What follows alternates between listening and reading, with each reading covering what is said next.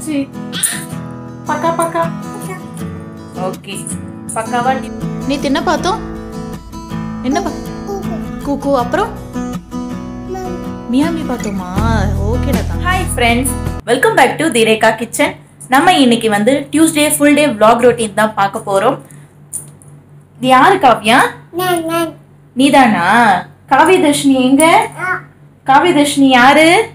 காவியதர்ஷினி யாரு? அதான் காவியதர்ஷினியா அப்ப நீ இல்லையா? நான் தான்? அடிக்க கூடாது அம்மா. நீதான். ஓகே ஃபுல் டே vlog ரொட்டீனை மறக்காம ஃபுல்லா பாருங்க. பார்த்துட்டு எப்படி இருந்ததுன்னு சொல்லி கமெண்ட் பாக்ஸ்ல எனக்கு கமெண்ட் பண்ணுங்க. இன்னும் தீரேகா கிச்சனை சப்ஸ்கிரைப் பண்ணாதவங்க மறக்காம சப்ஸ்கிரைப் பண்ணிடுங்க. தூக்கம் வந்துருச்சு அதுக்குள்ள உனக்கு? இன்னும் வீடியோவே ஆரம்பிக்கல. அதுக்குள்ள உனக்கு என்ன தூக்கம்? வாங்க வீடியோக்குள்ள போகலாம். மார்னிங் எழுந்தோடனே இந்த கமெண்ட்ஸை படித்தோன்னே எனக்கு அவ்வளோ ஹாப்பியாக இருந்துச்சு. Thank you so much for your motivational words கண்டிப்பாக நம்ம இந்த அச்சீவ்மெண்ட்டை ரீச் பண்ண போகிறோம் சீக்கிரமாக ஐ எம் வெயிட்டிங் அக்கா. என்ன பண்ணுறீங்க என்ன பண்ணிகிட்டு இருக்கீங்க? ஆ? என்னது? என்ன பண்ணுறீங்க ஊவா ஊவா ஆ. காவியா ஏதோ பேசிகிட்டு இருக்காங்க. அவங்களே விளையாடிட்டு இருக்காங்க. இன்னும் குளிக்கல மேடம் நேற்று வந்து துவைச்சி காய வச்ச துணியை இன்னும் மடிக்கலை. நேற்று வெளில போயிட்டதுனால ஈவினிங் ஸோ இப்போ அந்த ஒர்க் தான். இதை ஒரு வழியாக மடித்து வைக்கணும். மடித்து வச்சுட்டு காவியா கூட கொஞ்ச நேரம் என்ன தூக்கம் வருதா உங்களுக்கு? இப்போ தானே தூங்கி எழுந்தீங்க? அதுக்குள்ளே உங்களுக்கு தூக்கம் வருதா? ஆ? தூங்குனியா நைட்டு நல்லா? அப்படி தூங்குனீங்களா? நல்லா தூங்குனியா? ஆ அப்புறம் ஏன் இப்போ கொட்டாய் விடுற? இன்னும் தூக்கம் வருதா உனக்கு? ஆ? நேற்று வெளியிலலாம் போனதுனால கொஞ்சம் டயர்டாக இருக்காங்க அவங்க. அப்படிதானே? நேற்று என்ன பார்த்தோம் காவ்யா? ஆ? மியாமி பார்த்தோமா? என்ன பார்த்தோம்?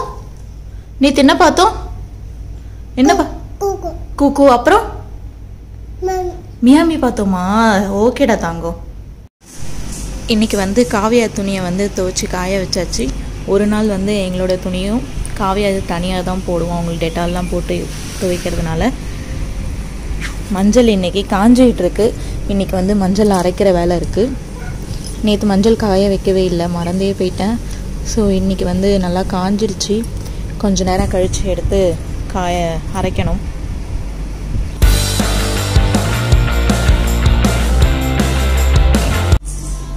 காவியா குளிச்சுட்டு விளையாடிட்டு இருக்காங்க ஜாலியாக டிவி பார்த்துக்கிட்டே விளையாடிட்டு இருக்கிறாங்க குளிச்சுட்டு வந்தோடனே டிவியை போட சொல்லி ஒரே அடம். என்ன பார்க்குறீங்க? அக்காலாம் பார்க்குறீங்களா டிவியில் ஆ? அண்ணன் அப்புறம்? பாப்பா அப்புறம்?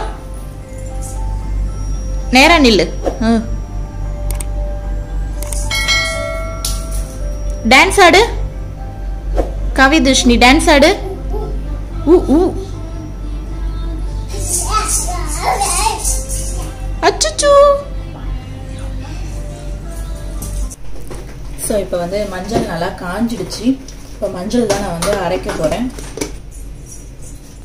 நான் அரைச்சிட்டு இருக்கலாம் அப்படின்னு பார்க்குறேங்க அதுக்குள்ளே வந்துட்டு கப்பை எதோ எடுத்துகிட்டு போகுது. என்ன கப்பை இது ஆ? என்ன பண்ண போகிற கப்பை வச்சு விளையாட போறியா? போ. போயிட்டு வா போயிட்டு வா. போயிட்டு வா. கப்பு பத்திரம் ஓகே கப்பு முக்கியம் பிகிலே. ஓகே எஸ்கேப் ஆயிடுச்சுங்க. ஓய் குட்டி பொண்ணு.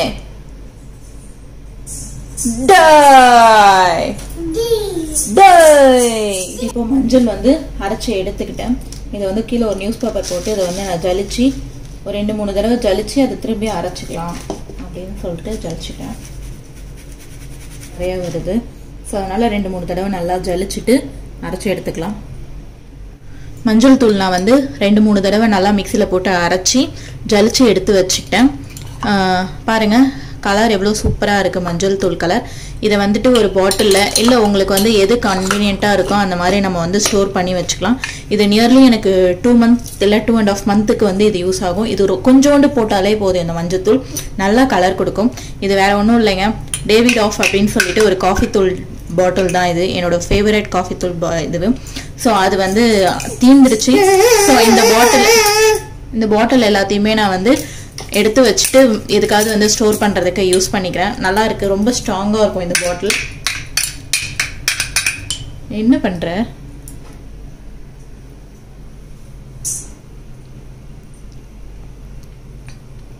உங்களுக்கும் இந்த மாதிரி பசு மஞ்சள் இல்லை விரல் மஞ்சள் கூட கிடைச்சது அப்படின்னா இந்த மாதிரி மஞ்சத்தூள் அரைச்சி வச்சுக்கோங்க. வீட்டிலே நம்ம யூஸ் பண்ணுறது நல்லாயிருக்கும் வாசனையாக இருக்கும்.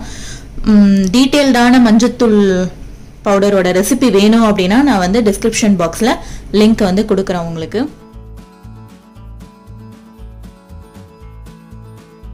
ஆ. எது? ஆ ஆ.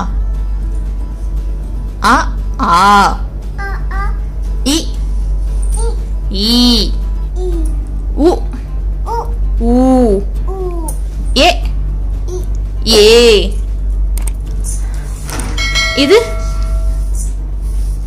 ஆ வெரி குட் இது? ஓ ஓ. அவ்? அக்கு.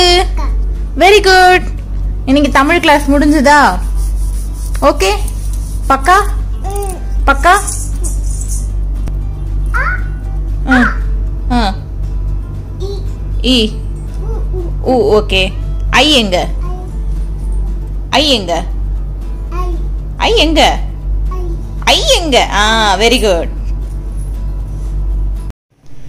தீரேகா கிச்சனோட இன்னைக்கு என்ன சமையல் அப்படின்னு பார்க்கலாம். இன்னைக்கு நான் வந்து ரைஸ் வடிச்சிருக்கேன். ஒன்றுமே செய்யலைங்க. நேற்று வச்ச சாம்பார் கொஞ்சம் மீந்துடுச்சு. ஸோ அதை தான் மதியானம் யூஸ் பண்ணிக்க போகிறோம் அடுத்ததாக வஞ்சர மீன் நாலு பீஸ் வறுத்து வச்சுருக்கேன். இதான் எங்களுடைய இன்னைக்கு லஞ்சு நாங்கள் போய் சாப்பிட்டுட்டு வரோம். Good evening friends as usual evening டைமில் வந்து செடிக்கெல்லாம் தண்ணி ஊற்றுனாங்க கிளம்பியாச்சு.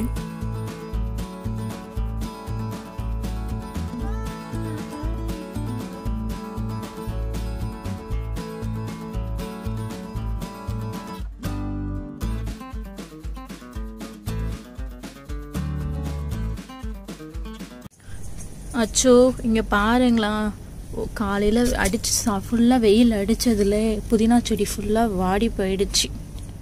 சூப்பராக இருந்தது. நேற்று நைட்டு கூட பார்த்துட்டு போனேன். சூப்பராக இருந்துச்சு. காலையிலையும் பார்த்தா நல்லா தான் இருந்தது.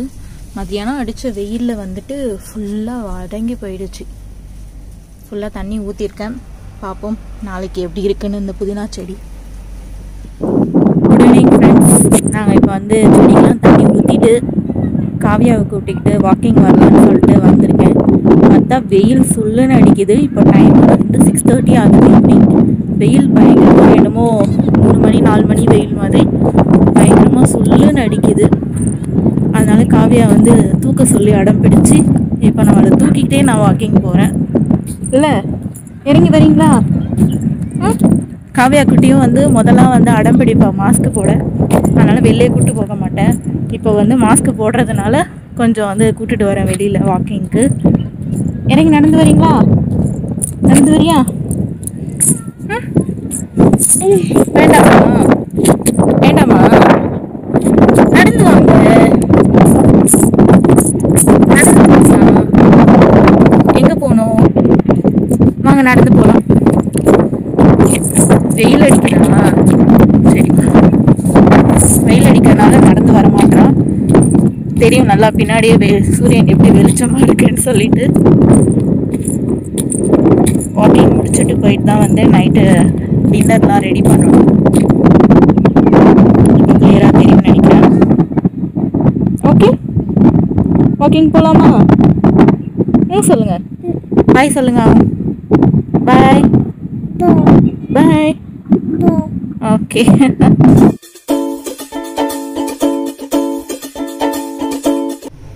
night tiffin தான் இன்னைக்கு. ஸோ வந்து பீட்ரூட் சப்பாத்தியும் மஷ்ரூம் குருமாவும் தான் இன்னைக்கு வந்து நான் செய்ய போகிறேன் ஸோ வந்துட்டு ஒரே ஒரு குட்டியாக பீட்ரூட்டை வந்து இந்த மாதிரி சைஸில் கட் பண்ணி நல்லா வேக வச்சு எடுத்திருக்கேன். ஸோ அந்த பீட்ரூட்டை வந்து மிக்ஸி ஜாரில் மாற்றிட்டேன் அதோட தண்ணியை மட்டும் வந்து தனியாக ஒரு கப்பில் வச்சுருக்கேன். நம்ம வந்து மாவு பிசையும் போது இதில் வந்து இந்த தண்ணியை ஆட் பண்ணி நம்ம மாவு பிசைஞ்சிக்கலாம். இப்போ இதை வந்துட்டு நல்லா பேஸ்ட் மாதிரி அரைச்சிக்கணும். திப்பி திப்பியாக இருக்கக்கூடாது. ஃபுல்லாக வந்து கிரைண்ட் ஆகிருக்கணும் ஓகேங்களா? அதுக்கு அரைச்சிட்டு உங்களுக்கு காமிக்கிறேன். பாருங்கள் பேஸ்ட் நல்லா அரைச்சி எடுத்துக்கிட்டேன். கொஞ்சம் வந்து தண்ணி தேவைப்பட்டுச்சு. ஸோ நம்ம பீட்ரூட் வேக வச்ச தண்ணியே வந்து கொஞ்சம் ஆட் பண்ணிக்கிட்டேன்.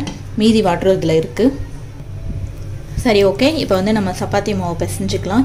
நான் வந்து ரெண்டரை கப்புக்கு அளவுக்கு வந்து சப்பாத்தி மாவு கோதுமை மாவை எடுத்து வச்சுருக்கேன். நான் வந்து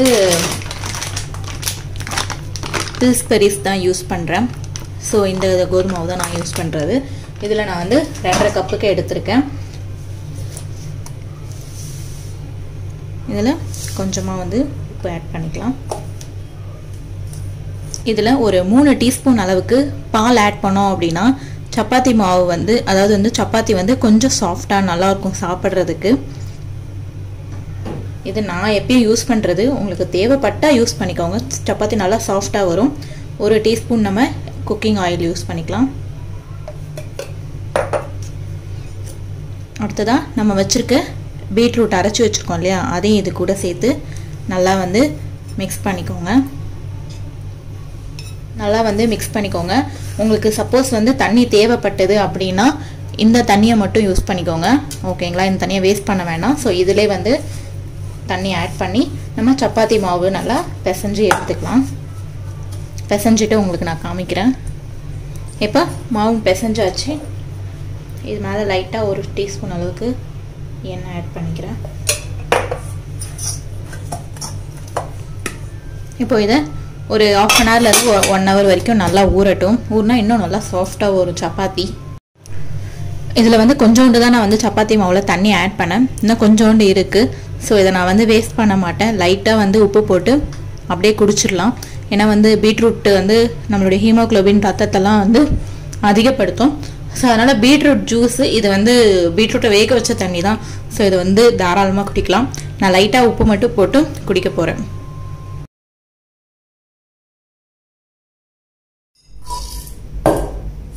உன்கிட்ட காவியதர்ஷினி சாப்பிட்றதுக்கு தான் சாக்கோஸ் கொடுத்தா நீ உட்காந்து டீ ஆத்திட்டு இருக்கியா? அதை வச்சுக்கிட்டு. ஆ? அடங்க. திரும்பவும். திரும்பவும் பாரா? பொம்மை காவியா? இதில் வேற கண்ணாடியை வேற பார்த்துக்கிட்டு டீ ஆட்டிட்டு இருக்காங்க அவங்க. போய் குட்டி பொண்ணு. கீழே விழுந்துருச்சா?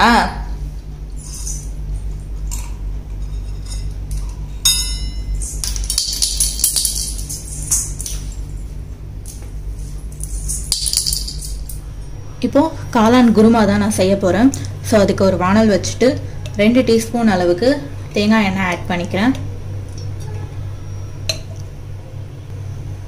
எண்ணெய் காஞ்சோடனே ஒரு பிரிஞ்சி இலை ஒரு பட்டை ரெண்டு ஏலக்காய். அடுத்ததாக இதில் ஒரே ஒரு பச்சை மிளகாய் கொஞ்சமாக கருவேப்பிலை இலை.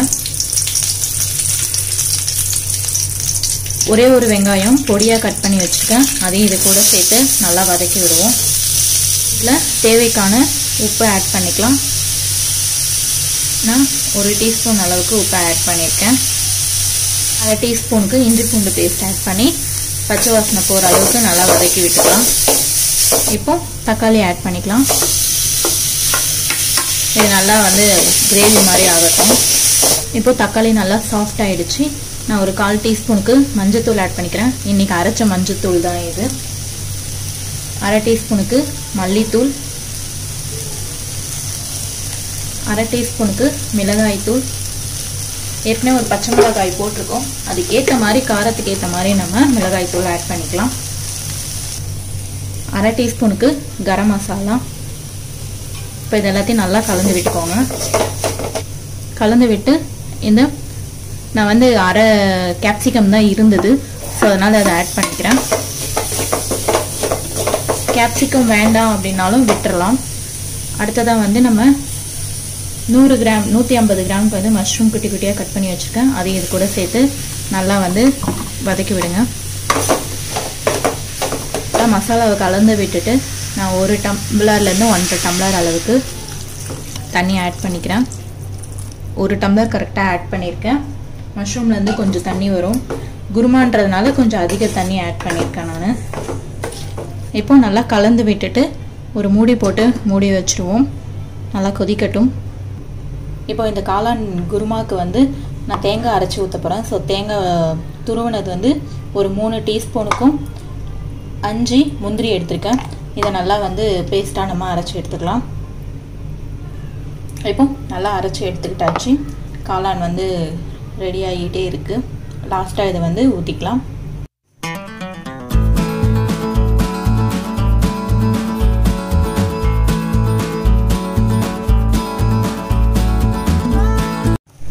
இப்போ நல்லா கொதிச்சுட்ருக்கு.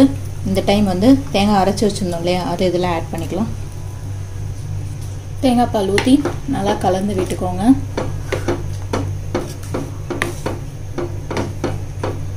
கொஞ்சம் தண்ணியாக வேணும் அப்படின்னா கொஞ்சம் கொஞ்சம் ஒரு மூணு நிமிஷம் வெடி கொதிச்சோடனே ஆஃப் பண்ணிவிடுங்க கெட்டியாக வேணும்னா இன்னும் கொஞ்சம் நேரம் கொதிக்கட்டும். அப்படியே குருமா ரெடி ஆகிறதுக்குள்ளேயே நான் வந்து சப்பாத்தியையும் போட்டு எடுத்துக்கிறேன். இப்போ ஒரு மூணு நிமிஷம் ஆகியிருக்கு. நான் ஓப்பன் பண்ணி பார்க்குறேன். கொஞ்சம் நல்லா கிரேவி பதத்துக்கு குருமா குழம்பு மாதிரி வந்துருச்சு. ஸோ இப்போ நம்ம அடுப்பு ஆஃப் பண்ணிக்கலாம். ஸோ நைட்டு டின்னர் வந்து பீட்ரூட் சப்பாத்தி ப்ளஸ் காளான் குருமா வந்து ரெடி ஆகிடுச்சு. குழந்தைங்கள்லாம் ரொம்ப விரும்பி சாப்பிடுவாங்க. கலர்ஃபுல்லாக இருக்கு இல்லையா? பெரியவங்களும் சாப்பிடுவாங்க. சின்ன பசங்க வந்து பீட்ரூட்லாம் அதிகமாக சாப்பிட மாட்டாங்கல்ல. அவங்களுக்குலாம் வந்து இந்த மாதிரி சப்பாத்தி செஞ்சு கொடுத்தோம் அப்படின்னா விரும்பி சாப்பிட்றதுக்கு சான்ஸ் இருக்குது குருமாவும் ரொம்ப ஈஸியாக வந்து ரெடி பண்ணிடலாம். ஸோ இந்த ரெசிபி உங்களுக்கு பிடிச்சிருந்தா வீட்டில் ட்ரை பண்ணி பாருங்கள் என்னங்க ஃப்ரெண்ட்ஸ் இந்த வீடியோ பார்த்து கண்டிப்பாக நீங்கள் என்ஜாய் பண்ணியிருப்பீங்க ஒரு இன்ட்ரெஸ்டிங்காக போயிருக்கும். வித் காவியா குட்டி. ம்? ஓகே இதோட நான் வந்து அடுத்த வீடியோவில் உங்களை நான் சந்திக்கிறேன். அது வரைக்கும் டாடா பாய்.